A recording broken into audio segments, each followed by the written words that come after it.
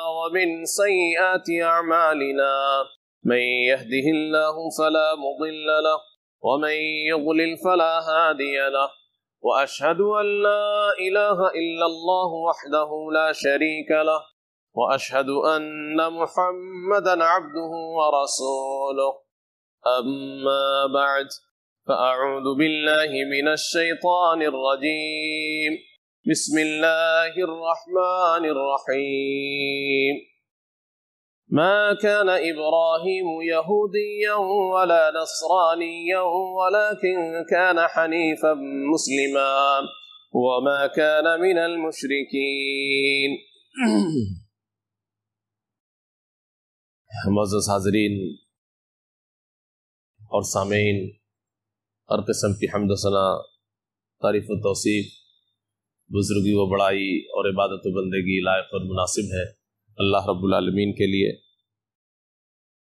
जो खालिक कायनात है, मालिक अर्द समा है, और सारे जहान का रब है। और दर्द सलाम नाजिल हो तमाम नबियों और रसूलों पर, ख़ास तौर पर आखिरी रसूल जनाब मोहम्मद सल्लल्लाहु अलैहि वसल्लम पर बेशुमार दरुद सलाम नासिल हो। अल्लाहुम्मा सल्ली अलैहि व बारिक वसल्लम।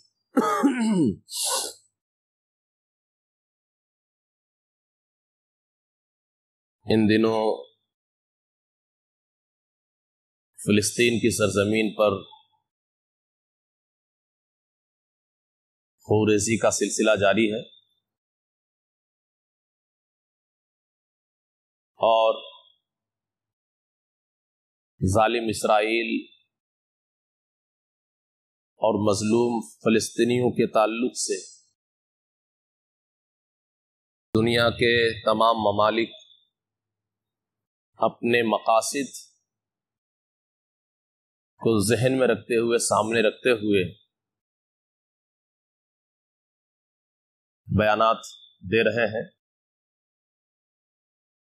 कोई खुल करके फिलिस्तीनियों के हिमायत में खड़ा है तो कोई खुले तौर पर इसराइल की हिमायत करता है। और बहुत सारे ममालिक ऐसे भी हैं जो अपनी मजबूरियों की वजह से दोनों ममालिक के दरमियान अपनी बात को बराबर रख करके अपनी बातों का इजहार कर रहे बहुत सारे मुसलमान भाई पूरी दुनिया में जो दीन इस्लाम के अहकाम से वाकिफ नहीं है, मुसलमानों की तारीख से वाकिफ नहीं है, वो जज्बाती हो करके मुख्तलिफ़ किस्म की बातें कर रहे हैं। ज़रूरी है मुसलमानों के लिए कि वो इस्लाम के करीब हो, दीन को समझें और साथ ही साथ तारीख का मुताला भी करें। आज हम इसराइल के नाम से जिस मुल्क को जानते हैं, हालाँकि पूरी दुनिया उसे मुल्क तस्लीम नहीं करती, उसमें रहने वाले ज़्यादातर लोग और हुक्मरानी करने वाले लोग। इनकी बड़ी पुरानी तारीख है। इसराइल का वजूद बड़ा नया है, लेकिन ये लोग नए नहीं हैं। बहुत पुराने लोग हैं। और हज़रत इब्राहिम सलाम उनसे इनको भी बड़ी अकीदत है। मुसलमानों के भी राहनुमा और पेशवा हज़रत इब्राहिम सलाम है। ईसाइयों की निगाह में भी हज़रत इब्राहिम सलाम बड़े मोहतरम हैं। इसी वजह से कहा जाता है कि हज़रत इब्राहिम सलाम अरबों के, यहूदियों के और ईसाइयों के मुश्तरक बाप हैं। मुसलमानों को अब आप पीछे रहने दीजिए पहले। अरब के लोग भी जो इस्लाम पे नहीं थे, काबतुल्लाह की जो निगरानी करते थे, वो दर हकीकत शिरक पे होते हुए भी अपने आप को दीन इब्राहिमी पे समझते थे कि हम इब्राहिम सलाम की मिल्लत पे और यहूदियों को ऐसा लगता है कि नहीं, हम, हज़रत इब्राहिम सलाम हमारे आदमी हैं। ईसाइयों का अपना दावा था। तो कुरान करीम में अल्लाह रब्बुल आलमीन ने इस दावा और उसकी सच्चाई को बयान करते हुए कहा, माँ का ना इब्राहिम यहूदिया। इब्राहिम अलैहिस्सलाम यहूदी नहीं थे जैसे कि आज तुम लोग यहूदी हो। वला नसरानिया। और नसरानी भी नहीं थे, जैसा कि तुम लोग आज नसरानी हो। और यहूदी और नसरानी वो कैसे हो सकते हैं? ये यहूदी और नसरानी तो ये बाद की पैदावार है, इब्राहिम अलैहिस्सलाम तो पहले है। लेकिन इब्राहिम अलैहिस्सलाम क्या थे? और जिस किसी को इब्राहिम अलैहिस्सलाम से अपना रिश्ता जोड़ना है, उसे क्या करना चाहिए? वला किनका ना हनीफन मुस्लिमा। इब्राहिम अलैहिस्सलाम खालिस तोहीद पे थे और रब के फर्मा बरदार थे। तीनों लोगों को अल्लाह ने यहाँ झटक दिया। ओमा का ना मिनल मुशरिक मुशरिक भी नहीं थे। अरब के लोगों का दावा भी बेकार कि इब्राहिम सलाम के दीन पे हमें, इब्राहिम सलाम शिरक पे नहीं थे। यहूदी और नसरानी का दावा भी बेकार। इब्राहिम सलाम इनसे पहले दुनिया में आए हैं और खालिश तोहीद पे वो थे। और इनके यहाँ शिरक ने जगह पकड़ ली है। तो अल्लाह रब्बुल आलमीन ने इस आयत के अंदर तीनों लोगों के दावा को गलत ठहरा दिया।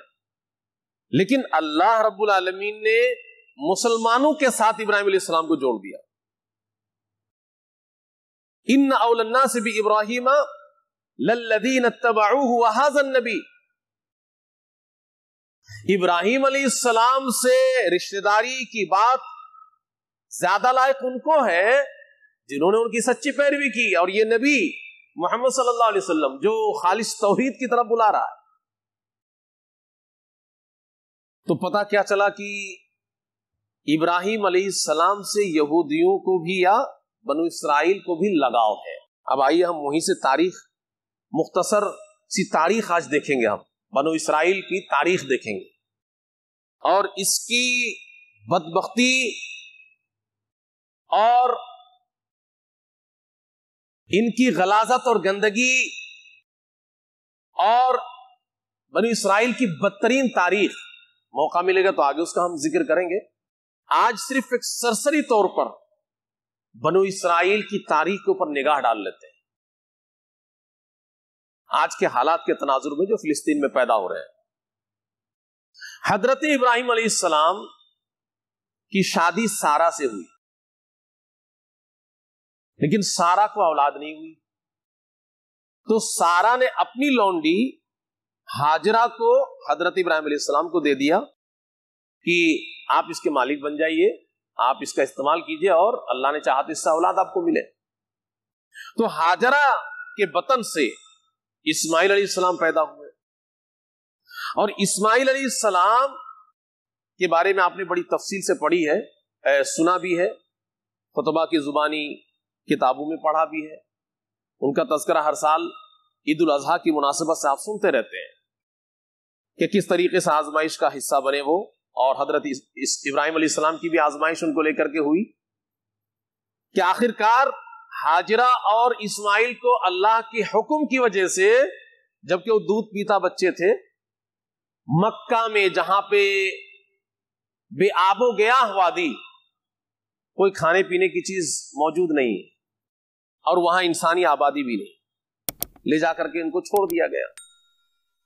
और वहीं से फिर इस्माइल सलाम की औलाद आगे बढ़ी। कुछ लोग सफ़र पे निकले थे तो देखा कि यहाँ पे पानी है तो जाकर के इजाज़त मांगी। हाजरा से हम लोग यहाँ बसना चाहते हैं। उन्होंने इजाज़त दे दी और बस गए। तो इस्माइल सलाम हज़रत हाजरा के साथ मक्का में ठहर गए और वहीं शादी कर ली और वहीं उनकी नस्ल आगे बढ़ गई। हज़रत इब्राहिम सलाम की बीवी सारा उनके वतन से भी अल्लाह ने नाउमीदी की उम्र में औलाद अता फरमाया। कुरान में अल्लाह ने दोनों का ज़िक्र किया है। फबशरना बेगुलामिन हलीम, ये इस्माइल सलाम का तस्करा है, और वबशरू बेगुलामिन अलीम, फरिश्तों ने आकर के जब हज़रत लूत अलैहिस्सलाम की कौम की तबाही के लिए फरिश्ते आए थे तो हज़रत इब्राहिम अलैहिस्सलाम के पास से होकर गुजरे थे। तो अबशरूह भी गुलामिन अलीम, आयन के साथ।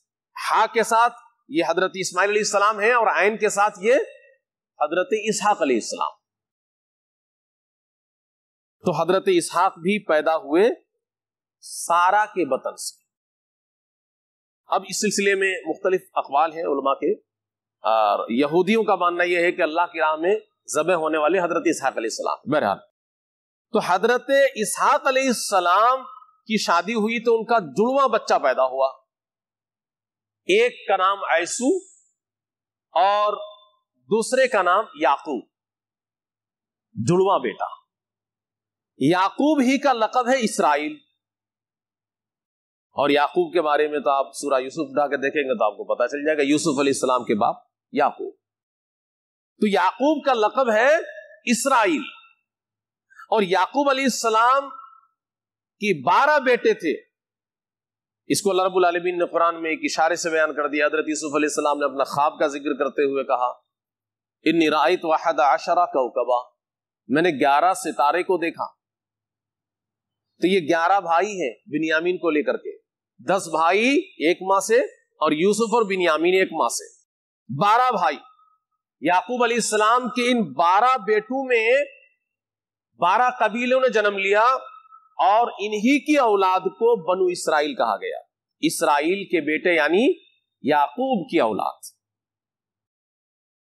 अब हज़रत यूसुफ सलाम का वाक्य आपने सुना है, उसमें आपको मालूम है कि भाइयों ने क्या किया और किस तरीके से हज़रत यूसुफ सलाम कनान से मिस्र पहुँच गए। और फिर आखिर में जाकर के जब पता चला बाप को कि हाँ मेरा बेटा ज़िंदा है, और हज़रत यूसुफ सलाम को पता चला, जब गल्ला उल्ला तकसीम कर रहे थे, फिर बाप को, माँ को बुलाया, वरफा वही आल अर्श, तख्त पे बिठाया माँ बाप को वखर सुजदा सारे भाई सजदे में गिर पड़े।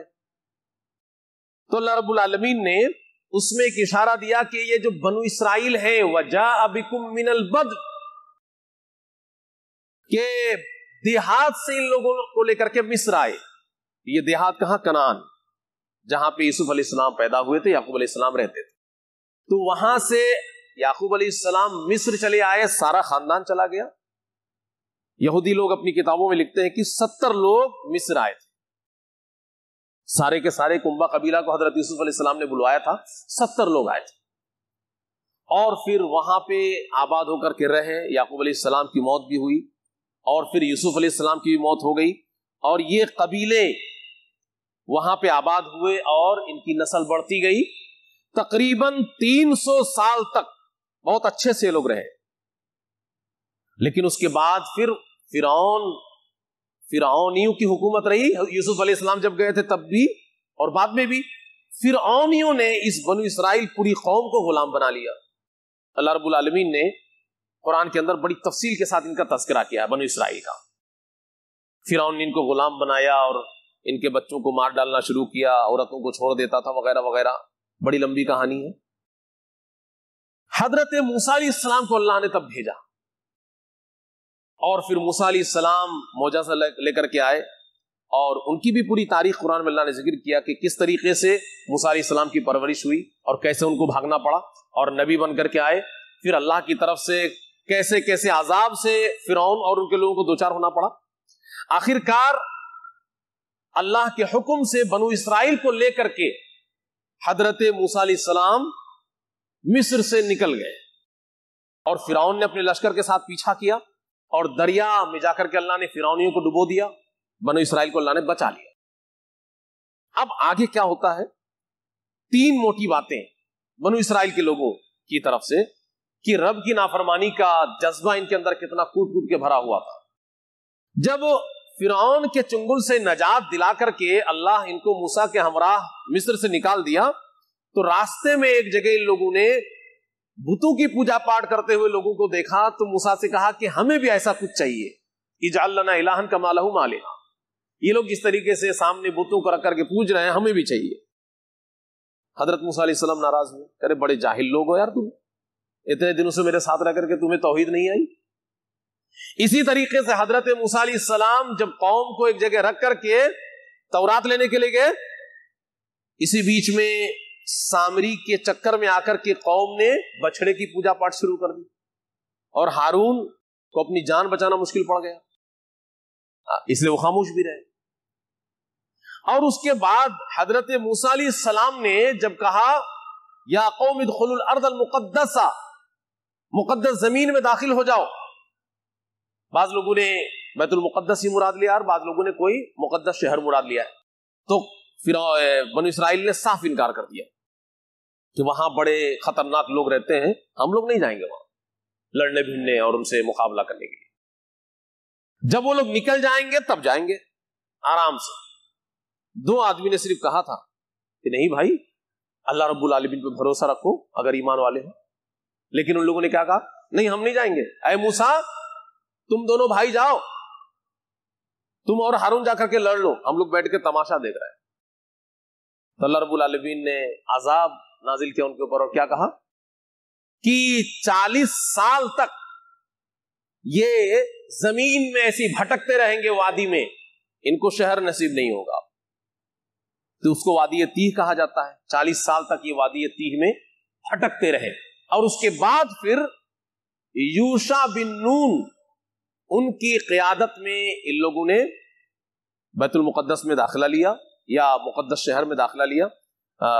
मौरखीन लिखते हैं कि जितने लोग बालिग थे नाफरमानी करने के वक्त, उनमें से कोई नहीं बचा था जब ये लोग वापस ज़मीन पर दाखिल हुए थे। मुकद्दस सरजमीन। तो इस तरीके से इनकी तारीख आगे बढ़ी। अब वहाँ पे यूशा बिन नून उनकी क्यादत में जब कौम आगे बढ़ी तो उसमें तीन अहद है, तीन जमाना है उनका। एक जमाना है जिसको खुजात का जमाना कहा जाता है। यानी यूशा बिन नून ने बारह कबीले थे, बारह कबीलों के बारह अमीर मुकर कर दिए, कि सब अपने अपने अमीर के मातहती में अच्छे से ज़िंदगी गुजारो। लगभग 400 साल तक इस तरीके से उन लोगों ने गुजारा किया, फिलिस्तीन की सरजमीन पे, बैतुल के इर्द गिर्द उसके बाद बादशाह का दौर आया और तालूद का आपने ज़िक्र सुना है। अल्लाह ने बादशाह बना के भेजा और फिर तालूद के ही ज़िक्र में आपने दाऊद का ज़िक्र सुना है और दाऊद के बेटे सुलेमान अली ये सब बादशाह गुजरे और इन लोगों ने अदल इंसाफ कायम किया और उसके बाद फिर इन लोगों में बंटवारा हो गया। एक है रहब्याम और एक है यरब्याम। इन दोनों की वजह से बंटवारा हुआ और बनु इसराइल के बारह कबीलों में से यहूजा और बिनियामीन, इनके खानदान के लोगों को लेकर के रहब्याम ने फिलिस्तीन के जुनूब में एक हुकूमत कायम की और उसने अपनी राजधानी बैतुल मकदस को बनाया। तीन सौ बासठ साल तक ये लोग वहाँ हुक्मरानी करते रहे। और यरब्याम, बाकी जो दस कबीले थे, उनकी औलाद को लेकर के वो शिमाल फलस्तीन में उसने हुकूमत कायम की। नाबलुस को उसने राजधानी बनाया और 244 साल तक हुक्मरानी दी और इसके बाद तकरीबन 70 ईस्वी तक, यानी तकरीबन 700 साल तक मुख्तलिफ़ लोगों ने आकर के इनके ऊपर हुक्मरानी की। कभी इनको इज़्ज़त मिली और कभी इनको जलील रसुआ किया गया, बनो इसराइल को। कभी इनको बेदखल किया गया फिलिस्तीन से, कभी इनको फिर दाखिला मिला, कभी इनके ऊपर पाबंदी लगी, कभी पाबंदी हटाई गई। अब हज़रत ईसा जब दुनिया में तशरीफ़ ले आए, उस वक्त फिलिस्तीन पर रूमियों का कब्जा था। और ये कौम तो बड़ी खराब थी ही, इनकी तारीख फिर हम आपके सामने ज़िक्र करेंगे किसी वक्त। इनकी शरारत की वजह से आखिरकार रोमियो ने क्या किया? इनको पकड़ पकड़ करके, खदेड़ करके तितर बितर कर दिया। और पूरी दुनिया में ये टुकड़े टुकड़े में बैठ गए, बट गए। और यही सिलसिला 1900 अठारह तक मान करके आप चलिए, यही सिलसिला रहा। अठारह तक, ये दुनिया भर में दर दर भटकते रहे, और नबी करीम वसल्लम के जमाने में भी ये हालत थी। और कुरान ने इन्हीं की तरफ़ नक्शा खींचते हुए कहा है कि अल्लाह ने इनके ऊपर जिल्लत और रसवाई मुसलत कर दी है। बल्कि कुरान में अल्लाह रब्बुल आलमीन ने एक जगह यहाँ तक कह दिया कि अल्लाह का ये ऐलान है कि कयामत तक इन यहूदियों के ऊपर अल्लाह की जानब से ऐसे लोग मुसलत किए जाएँगे जो इनको परेशान करते रहेंगे और इनको जलील और रुसवा करके रखेंगे। मैं यसुम हमसू अलाजा तो वो होता रहा। इनकी पूरी तारीख आप उठा करके देखिए। तो सत्तर ईस्वी हज़रत ईसा सलाम के जमाने से लेकर के अभी सौ साल पहले तक आप मान करके चलिए कि ये दुनिया में जगह जगह टुकड़े में पड़े रहे। इनका कोई ठिकाना नहीं रहता था। क्योंकि ये बड़े खराब लोग थे, जहाँ भी रहते थे, शरारत पे इनकी आदत थी तो लोग इनको भगाते थे। मुसलमानों ने भी भगाया, ईसाइयों ने भी भगाया, पूरी दुनिया में ठोकरे खाते रहे। अब उसके बाद सबसे पहले एक इसराइली हुकूमत का आइडिया सत्रह में एक यहूदी लीडर ने दिया, लेकिन वो कामयाब नहीं हो पाया। आगे चल करके अठारह यानी 1900 ईस्वी के आसपास, इस चीज़ को और फिर जोरदार तरीके से यहूदियों ने उठाया और खूब मेहनत की चारों तरफ़। और आखिरकार उस वक्त जो दुनिया में कब्जा किए बैठे हुए थे ब्रिटेन, बरतानिया, उसके साथ साठगांठ किया और सत 1917 में ये फिलिस्तीन का जो इलाका है, ये पूरा बेतुल मकदस वगैरह, ये सब ब्रिटेन के कंट्रोल में था, बरतानिया के अंडर कंट्रोल। तो बरतानिया ने 1917 में ऐलान किया कि हम फिलिस्तीन में एक यहूदी हुकूमत कायम कराएँगे। और यहूदी लोग पूरी दुनिया से वहाँ आकर के जमा होते रहे, आबाद होते रहे। और उसके बाद फिर अकवा मुतहदा के हैंड ओवर किया उसने, बरतानिया ने इस मामले को। और 1948 में, उन्नीस सौ सैतालीस, उनतीस, ग्यारह, उन्नीस सौ सैतालीस अकवा मुतहदा ने तकरीबन आधा आधा फिलिस्तीन और इसराइल को बांट दिया, पूरे फिलिस्तीन को भाई तुम्हारा ये है, तुम्हारा ये। और 1948 में जब बरतानिया ने फिलिस्तीन को खाली कर दिया और चला गया वहाँ से तो उस वक्त इसराइल ने अपने आज़ाद मुल्क होने का ऐलान किया और जो पर्दे के पीछे लोग खड़े थे, अमेरिका, रूस वगैरह वगैरह सब खुल करके आए और सबने उसकी हिमायत की क्या हम मानते हैं, हम तुम्हारे साथ ताल्लुकात कायम करेंगे।